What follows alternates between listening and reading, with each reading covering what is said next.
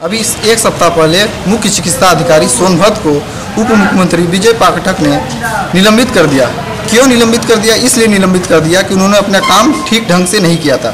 तो आज इसी को हम जानने सी दुद्दी में आए हैं कि यहाँ के स्वास्थ्य कर्मचारी अपना काम ठीक ढंग से कर रहे हैं कि नहीं। और हमारे सहयोगी पत्रकार जितेंद्र अग्रहरी भी हैं। हम लोग दोनों जानेंगे कि यहाँ सी दुद्दी का क्या हाल है।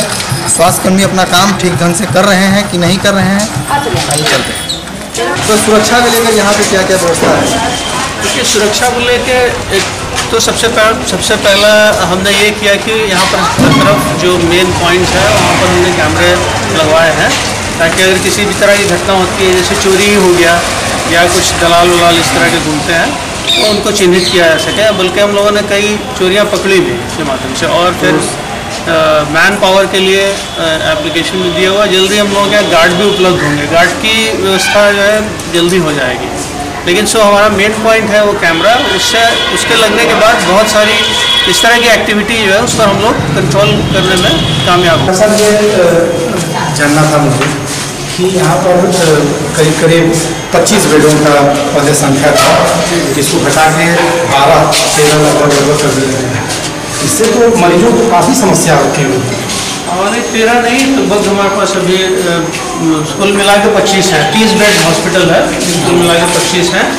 अगर जो पाँच पाँच बेड हम लोगों ने रिज़र्व में रखा हुआ है। बीस बेड हमारे नीचे हैं अब पाँच बेड ऊपर रिज़र्व में है जैसे डेंगू की प्रॉब्लम आए तो उसको हम लोग रिज़र्व में रखे हुए हैं हाँ सर सवाल मतलब आधुनिकरण का। है तो ये उतना आधुनिकरण तो अभी हमको दिख नहीं रहा है हो पाया है सर। जिसकी वजह से यहाँ के आदिवासी लोग कुछ आदिवासी मरीज़ लोग वो झोला छाप डॉक्टरों के चक्कर में पड़ जा रहे हैं। यहाँ जो प्राइवेट हॉस्पिटल जो अनरजिस्टर्ड अनक्वालिफाइड हैं, जो वहाँ पर पहुँच जा रहे हैं यहाँ के मरीज़। यहाँ पर बेड न होने के वजह से डॉक्टर न होने की वजह से, जागरूक न होने की वजह से।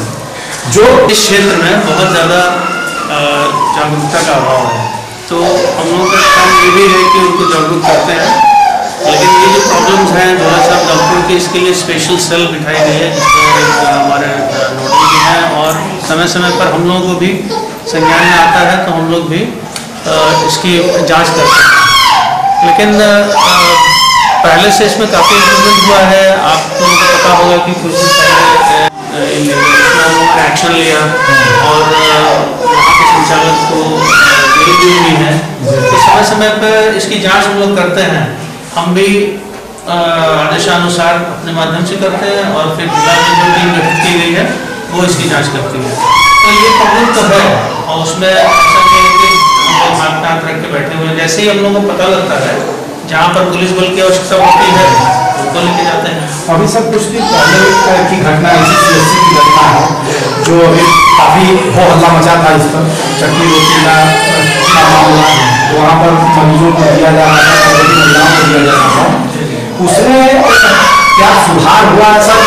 अभी मिलों के हिसाब से मिलना स्टार्ट हुआ है कि वही चल। रहा है बिल्कुल बहुत बहुत ज़्यादा सुधार हुआ है बल्कि हम पर्सनली हम राउंड लेते हैं सुबह तो चेक करते हैं कि आज खाना मिला कि नहीं और मिला तो क्या मिला और बॉक्स खोल के मैं देखता हूँ। वेंडर को स्पेशली इसके लिए मैंने उनको वार्निंग भी दी है कि अगर क्वालिटी ठीक नहीं रहेगी तो हम आपको हटा देंगे। ये तो मैंने साफ़ साफ़ क्लियर कर दिया। तो तब से क्वालिटी ठीक है और समय पे खाना भी मिलता है। ये प्रॉब्लम बहुत हद तक सॉल्व हो। एक सर बहुत बहुत धन्यवाद आपको हमारे साथ जुड़ने के लिए। बाबा क्या परेशानी है इनको? इनको साफ़ काटा। अच्छा। यहाँ पे दवा वगैरह सही से हो रहा है कि नहीं हो रहा? दवा तो हो रहा है लेकिन हम लोग का काम आने में सही से हो रहा है हो है। यहाँ हो है। पर डॉक्टर लोग हाँ, आते हैं। आते हैं। आते हैं। सुविधाएँ सब मिल रही हैं। हाँ तो मिल ही रहा है। सही समय पे देखभाल होता है हाँ, मरीजों का देख ही रहे हैं।